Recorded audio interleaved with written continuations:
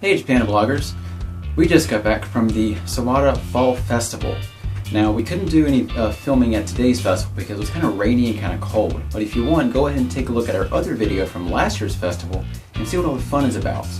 But at today's festival, we got something, or I should say I got something, that I thought was very interesting. For one, it's October, so the Fall Festival is just celebrating the uh, fall harvest and stuff. But being October, what, 14th?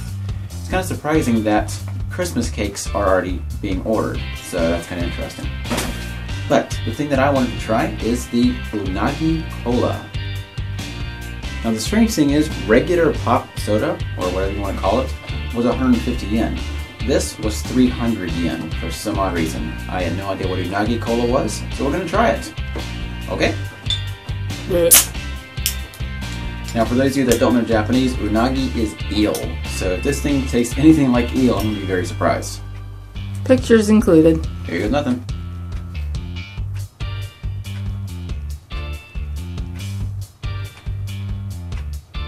You're kidding. It's regular Coke. What? It is literally regular Coke just in a glass bottle. Why is that twice the price of a, of a regular Coke? That makes no sense. What? Okay, so the packaging is kind of nice. I mean, it's paper and has a little gold printing on it, but yeah, it's just regular Coke. Unagi Cola. Why is it called Unagi Cola? It makes no sense. Mm, maybe to get people to buy it. But for 300 yen? Okay, the know. glass bottle might be worth it. I don't know Yeah. either. I don't know. So, would I recommend it? Well, since it's just regular Coke, of course I'd recommend it. But Unagi Cola, unless you want to pay, you know, twice the price for something kind of fancy, I wouldn't recommend it. But it's still good cola. What do you think, Derp? Okay, you're not involved. What about you, Chi?